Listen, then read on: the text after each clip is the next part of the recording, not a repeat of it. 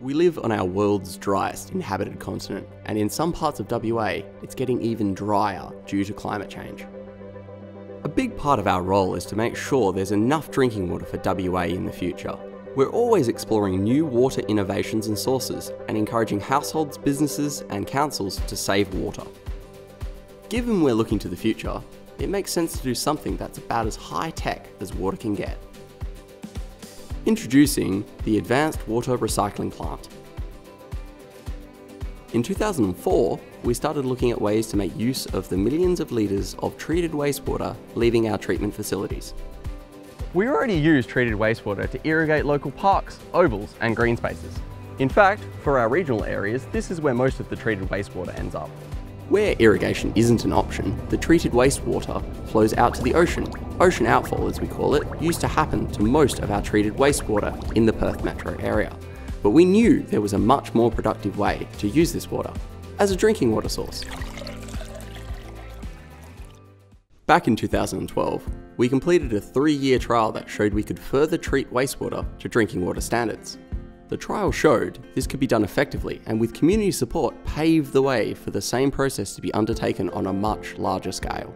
And that's the story behind where I'm standing now, a facility where we further treat wastewater to drinking water standards. We then inject this recycled water into our underground aquifers. We call this process groundwater replenishment. Now, the concept of drinking what was once wastewater can be pretty hard for some people to stomach. After all, most of it originally came from our sinks, showers and toilets. For people who find the idea of drinking recycled water a bit yuck, here's a cool fact. The recycled water we recharge to our aquifers is actually cleaner than the water that's already down there. Even then, the recycled water we've injected stays in the underground aquifers for years before it eventually finds its way to our taps again. I did drop a word in there that you may not be 100% familiar with. Aquifer, what is that?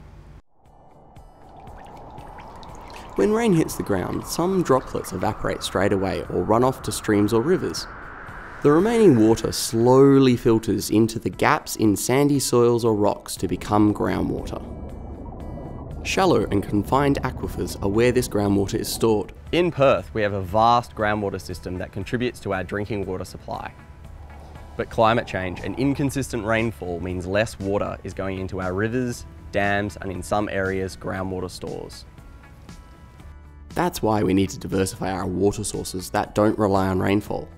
Enter the Advanced Water Recycling Plant.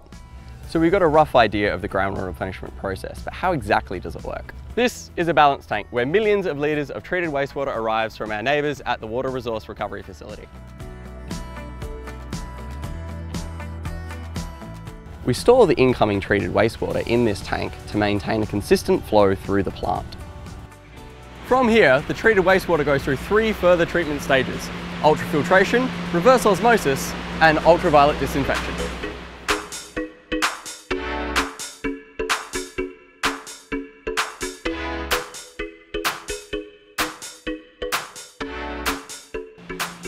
These are the ultrafiltration cylinders. There's a lot of them. We're able to push a lot of water through here, about 1600 litres every second. That comes to one Olympic-sized swimming pool of water, filtered every 26 minutes. Each vertical unit looks like this inside. There are about 10,000 of these filtration tubes in each cylinder. Although we can't see them, each tube has tiny holes that are about 1 300th the width of a human hair. They're basically thousands of super thin straws. The water is pushed through the tubes, which remove the larger molecules. If you were to take out all the tiny tubes and lay them end to end, they would almost stretch around the equator of the Earth, about 39,000 kilometres.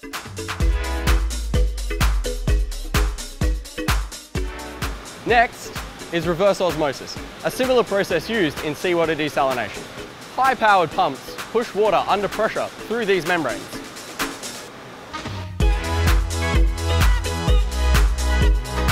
It takes a lot of pressure to push the water molecules through, around 1,000 kilopascals. With that amount of pressure, you could push one litre of water 100 metres into the air.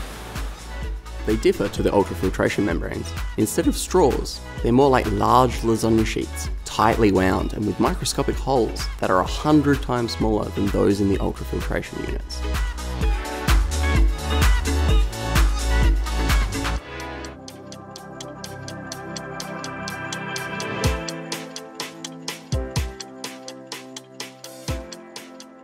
Here we are at the last step of the treatment process, ultraviolet disinfection. Whilst not noisy itself, it shares this room with the reverse osmosis feed pumps, which are making all that noise. It all happens in a flash. The ultraviolet or UV light acts as a final safeguard, deactivating any microorganisms that might be left.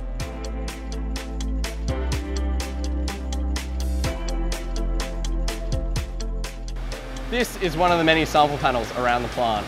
They measure different aspects of water quality, such as pH and conductivity. If the water doesn't meet the standard at a particular checkpoint, it triggers an alert for us to take action, which may mean diverting the water until the required water quality is achieved. That's very rare. Most of the time, it's all smooth sailing here in the plant central control room. Once the water has been through all three stages, it is ready to be pumped underground via a recharge bore. At Beenyup, the recycled water is injected into two separate aquifers. Both aquifers are directly below the plant. One is called the Leederville Aquifer and the deeper aquifer, the Yarragadee. Water is also transferred 13 kilometres away to Wanneroo and Neerabup for injection. To get the recycled water back underground, we pump it through these recharge bores, which go down between 200 and 1,200 metres. The bottom section of the bores have small holes that evenly distribute the water into the aquifer. We regularly test and monitor the recycled water. This is one of our monitoring bores. We collect samples from here to send to laboratories for testing. We also monitor the direction and speed at which the water is travelling.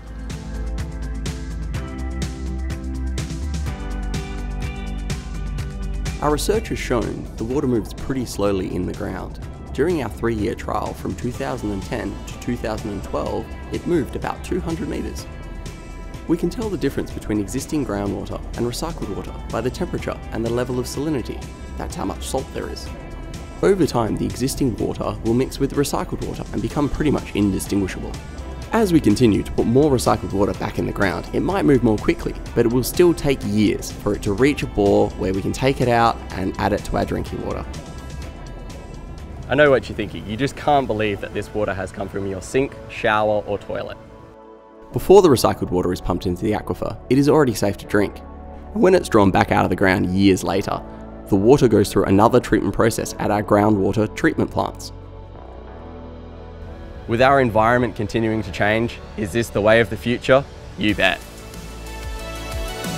We are so certain we've doubled the size and capacity of our advanced water recycling plant here in Craigie. But this will never replace good, efficient water use, something which we can all start right away.